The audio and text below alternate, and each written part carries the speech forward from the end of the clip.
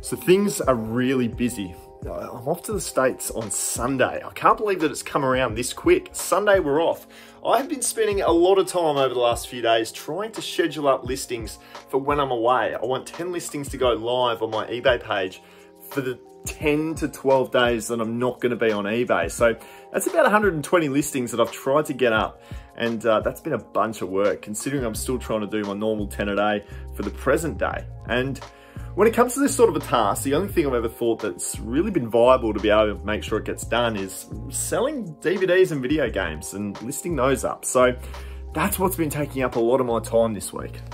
And I reckon we've been able to sort it out today. I made a really good DVD purchase of about 50 listings and uh, I really realized in that process that there was never a video where I'd kind of unpacked everything that goes through my mind when it comes to sourcing a DVD the process that I go through to list up a DVD, to actually get it to go on to sell, and then obviously how to ship it off as well. So we're gonna cover all of that in this video today. Hopefully it can help you out there. If you're a new seller, let me know in the comments below. Look, I think that DVDs are a great category to focus on. They're easy to find, easy to list, easy to ship. So uh, the first thing that we're gonna have a look at is the characteristics that I look for. All right, so the first thing that I want to have a chat about is the bee's knees when it comes to DVDs, and uh, it is the TV series box set. These are the things you want to be finding if you're doing DVDs. If you do no more than just sell TV series box sets, you're going to be doing yourself some very good numbers on eBay. So I always look for these first and foremost. If they're ever in a casing like this, then that's a big win. I'm gonna pick that up every time if it's between sort of five to $10. I don't even bother comping it up. I just know that something like this, a complete series, seasons one to three,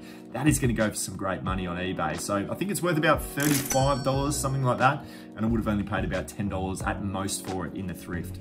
The other one to pay attention to is region codes. Now I'll put a little table up here for you to have a look at, but there's actually 10 different region codes to know. And uh, look, if you're in Australia, pretty much the only region you need to look for is region four, because that is what predominantly plays on our DVD players here in Australia. But if you're overseas, region one for US, and region two for Europe and Japan. So I will actually go ahead now and source those region one and twos because I am pretty much always putting them up with international postage on, and I have often sold a few that do go internationally. So um, just focus on the country that you're in and the, the region code that is appropriate and, and stick with that method. I think if you're new to reselling here in Australia, don't branch into any other different regions if you're finding those DVDs. Just stick to region four, you'll generally do okay.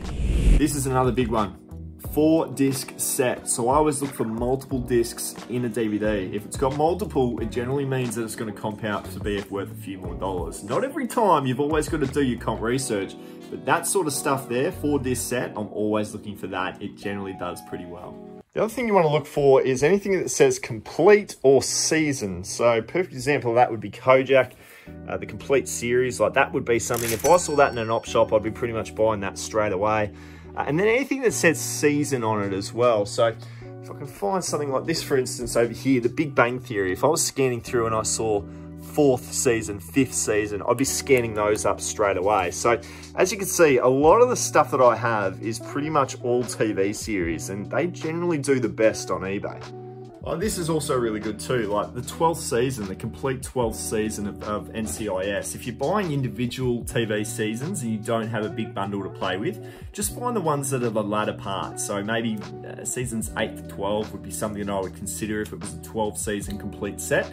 Um, just grab those later ones and they generally price up for more because people are trying to complete their collections.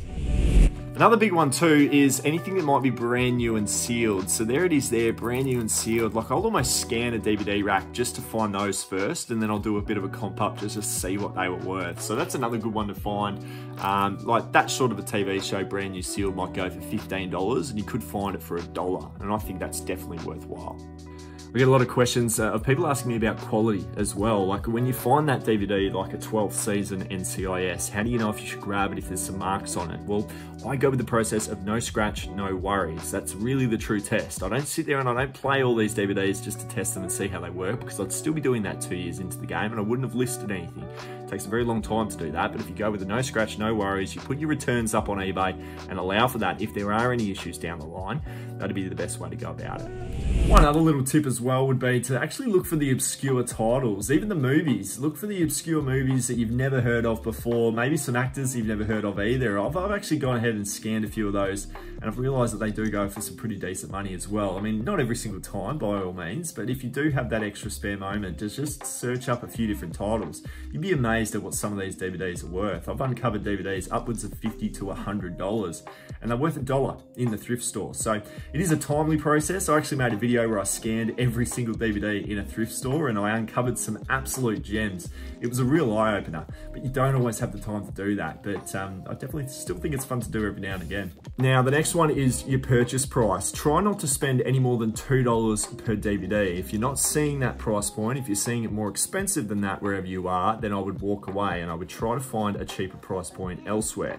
You can always jump on a Facebook Marketplace. I've got a video of how I do wholesale purchasing of DVDs on Facebook Marketplace. And often at times you're getting them for around 50 cents. There's a little bit more legwork to it. The video linked in the description below will go through that process for you to show you what to do don't ever feel the need to have to pay any more unless it's maybe a TV series box set. Sometimes I'm paying up a little bit more to get my hands on those because they're just worth a whole lot more. But generally speaking, $2 or less. And then when you're trying to find a comp price that actually goes for some good money, I always work off a $10 minimum sale price. So you've always got fees, you've always got postage to take into consideration. That really whittles it down. But if you're buying it for two, selling it for 10 at an absolute minimum, you're generally gonna do yourself some pretty good numbers. I put a little screen grab here of just the process of how to do your comp searching for a DVD. And it's very simple. There's a barcode scanner uh, on your eBay app and you can literally click on that little camera icon in the top right hand corner. And then from there, find your DVD and just do a barcode scan. And then you go into a filter, you work your way down to sold items and that will give you a filtered sold search of the previously sold items for that exact DVD, working off the barcode that you initially scanned. So look, I've done that thousands of times, searched and, and you build up a learning and an understanding of how much certain DVDs are worth. And now the next thing is to how to title up your DVD listings to make sure they are, I guess, set up to sell because it's a very important aspect to your eBay listing is to get your title correct. And a perfect example is to have a look at my One Tree Hill listing on my eBay page. I've basically put the title of the actual TV show first, one Tree Hill. And then I've done complete series season one to nine. So I basically stipulated how many seasons you're playing with. And I always write those keywords that I spoke of earlier. Complete series. If it is a complete series box set, I'm putting in the words complete series, then I'm stipulating the number of seasons that are in it. And then I'm saying DVD, which is obviously a key search term. And then I'm putting in the region code, region four. VGC is just code for very good condition. If it is in very good condition, I will often write that as well. And then I personally like to fill out my title characters as much as I possibly can. And if I've got leftover space from that, I'll always put in free postage, which because that is the model that I go by. It's free postage for all of my listings. So One Tree Hill, complete series, season one to nine, DVD, region four, very good condition, free postage. And I kind of try and replicate that for every single one of my listings. I won't go into the detail around the photos required as well because I feel like for DVDs it is pretty self-explanatory. Just make sure that you're taking enough photos of the case and of the individual disc and then flip it over for the quality of the disc as well um, and you should be fine with that. When it comes to postage, I use the Australia Post medium size tracked envelope. These things are an absolute lifesaver because they do have the tracking component. And for me as a seller, I just really wanna make sure that I've got tracking for every single one of my sales. So I'm always gonna use that. It costs $4.50. You can buy them in bulk. I buy packs of 10 for about 45 bucks. On the Australia Post Band 5 discount as well, so take that into consideration. Um, but you've always got some pretty good, uh, I guess, assurity when it comes to posting your DVDs with the tract. You can do it for cheaper. You can do it for about $2.80 with just a standard envelope. That works fine as well. I've never had any issues just whacking one of these into one of those and it being completely fine from a sense of, um, I guess, quality upon arrival. They've never been damaged. They've always been fine, so don't fear that. If you're getting a, a big uh, TV series box set, I always put a light film or bubble wrap around this and put it into a small satchel. Um, that always works pretty well for me. If I go over five DVDs for an order, I'll put it into a medium satchel. That goes for about 10 to $12. So you're never paying too much to ship off a DVD and there's never really too much prep work to actually get the job done either. So there you go guys. These are all the DVDs that I'm gonna go ahead and list up so I can go over to America and know that all of these DVDs will hopefully give me a few dollars while I'm away. There's a lot here to work through. We're doing pretty well on a listing front. I'm generally doing 10 a day, plus all of these listings that I need to whack into the system. So that'll do me. Appreciate your support. Thanks for being here. Like the video, subscribe to the channel if you enjoyed it, and uh, we'll see you on Thursday for a trip to the thrift.